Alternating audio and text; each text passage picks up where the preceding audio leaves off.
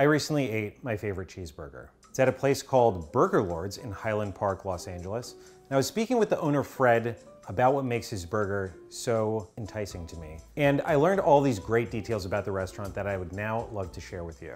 Really, it was eating at Burger Lords that made me realize that the feeling of going to grab a burger and that type of meal has way more to do with the composition of the burger, where you're getting it, the feeling of eating at the place, than it has to do with what the patty is made out of. So here are six nerdy details I learned about my favorite cheeseburger. Number one, the burger is vegan. However, that is not exactly what makes it my favorite cheeseburger. I grew up vegetarian and lived off of garden burgers. I really prefer things that don't taste like meat personally, so that's what it's based off of. It's still classic, it's just the patty, essentially, but it's still meant to invoke that nostalgia, like a classic act of eating a cheeseburger. Holding it, looking at it, it's a cheeseburger.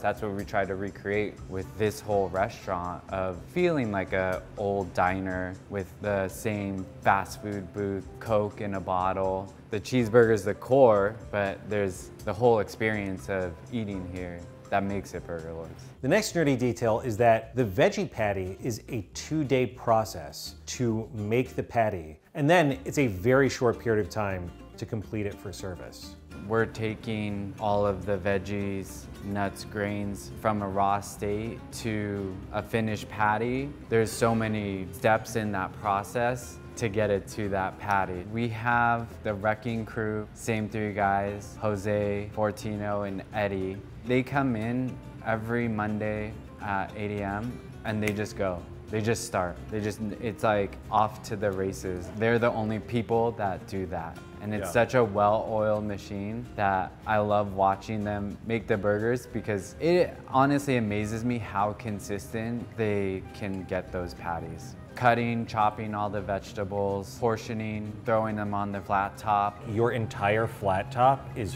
full of vegetables. Yeah. And then when it's cooked down, it's like this much vegetables. Yeah. Measuring all the spices, adding that to the veggies, grinding garbanzo beans, cooking barley, chopping up cashews. Once each of those individual components is where we need it to be, we throw that in a big mix, it takes two days because cooking each of those components at the scale we are, where we're making a couple thousand of just the veggie patties each week, we just take it to that mix on the first day. And then on the second day we portion each patty out roll it in panko. The panko is kind of helped absorb some of the moisture. And also when it's finished it gives it like a nice crispy texture when we cook it on the grill. Press it we bake all those patties off and help draw out the moisture and just get it to a more finished state. We used to serve beef, so in 2020 we went all vegan. That changed the whole process because we didn't sell as many veggie patties. So now that's our core thing. So we really had to figure out how to switch the production to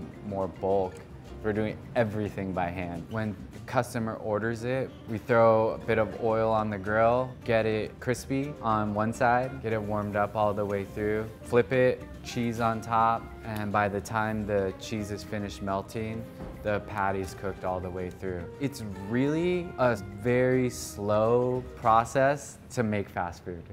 Yeah. The next nerdy detail is that there are no seats in the restaurant without a seat back, which I'm sure a lot of restaurants also share this same common attribute. But what's so interesting is that Fred made the specific choice to make the inside of the restaurant that way. The original booth was actually the first thing that we purchased for this Highland Park location. They were used. When we got to the space to see them, it has a certain warmth having used products, it has some life to it already. The rest of the restaurant design was based on that. Having a fast food restaurant, I think it's important that's comfortable. So every seat that's in the restaurant has a back. We had all these stools custom made and they spin, you know, so you're not just stuck. We spaced appropriately so you're not sitting on top of someone else. You can have your, your zone. For us, it's important that people feel comfortable whether they're here for 10 minutes or two hours. It's really meant for restaurant hospitality that you're welcoming, that people are comfortable when they come to the, your space. When you know that this level of detailed decision making went into a piece of the restaurant, you realize that everything is a deliberate choice, but it still evokes this feeling of casualness and warmth, which is really special. I also noticed that some of the chairs that oppose the bench seating in one part of the restaurant are the same chairs that I sat on in high school for many hours doing stuff I didn't want to do. And now I get to sit in it and eat a cheeseburger. The next nerdy detail is actually not one that I love, but one that I hate. And that is that the restaurant used to have these specially branded cups and trays that are so reminiscent of so many fast food restaurants, but they had their great logo on it. But so many people stole them that they had to stop using them. Just don't steal.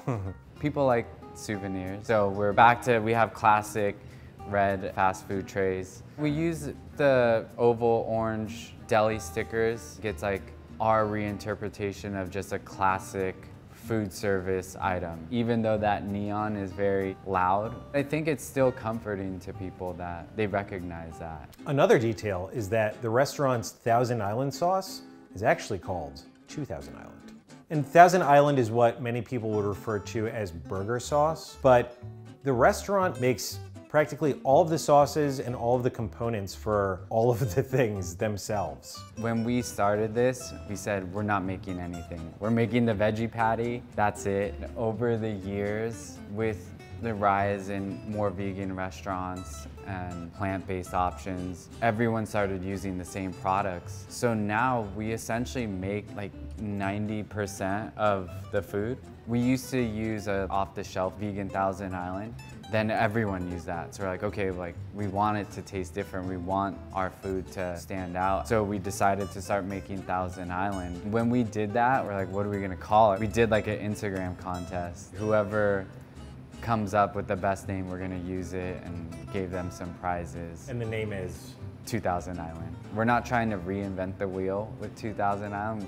We want it to taste familiar. The one difference is it has a little bit of chopped chilies gives it like the brightness and just a little bit of kick to it. The next nerdy detail is that the lettuce on the burger is in one folded chunk, but it used to be shredded. That's how it was when we filmed Worth It at Burger Lords. When we're putting together a burger, for us, starts with bun, good amount of sauce, whole leaf lettuce, tomato, three slices of pickles, veggie patty, cheese, diced onion, a little bit more sauce on top, and the top bun. Interestingly, they still have shredded lettuce at the restaurant, which goes on the fried chicken sandwich. We call it BFC, Burger Lords Fried Chicken, and it's a tofu seasoned patty, breaded, deep fried, and we have a fried chicken sandwich now. I always want to change things. Like maybe I'll have a burger somewhere else and they use shredded lettuce. I was like, oh yeah, let's do that. And then I'll have one with the whole leaf lettuce. I'm like, no, that's how it should be.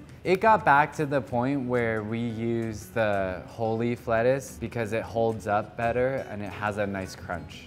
We still want to find texture when you bite through a whole sandwich and like how that acts. And it's also easier for us to keep consistent because you're like, okay, it's this slice of lettuce versus like someone's putting a little shredded lettuce or a big handful. The Oklahoma Smash Burger, we have a patty balled up, smash that on the grill, and we take a big heap of sliced raw onions and throw that on top. So when we build that, it's very simple. Bun, garlic aioli. The burger with the onions get flipped right on top of that. A little bit more garlic aioli and top bun. What makes a delicious cheeseburger? It's just classic, that whole experience. It is different for everyone how they interpret a burger and that's why we're just doing our thing here for people who want an alternative, that something that is very different than what you might think a classic cheeseburger is. And how does it taste? It's delicious. It doesn't taste like beef, of course, but it's also not trying to taste like beef, but it does taste like a delicious burger. It's about the feeling of going to that place and getting that burger. If you start to consider that somebody had to sit down and make all of the choices to arrange it and design it that way. There's actually so much going into it, and it invokes a very specific feeling of going to grab a burger that is so good. Well, that was six nerdy details I loved learning about my favorite cheeseburger. Do you have a favorite burger? What is it about your favorite burger that makes it your favorite? Have you ever thought about that?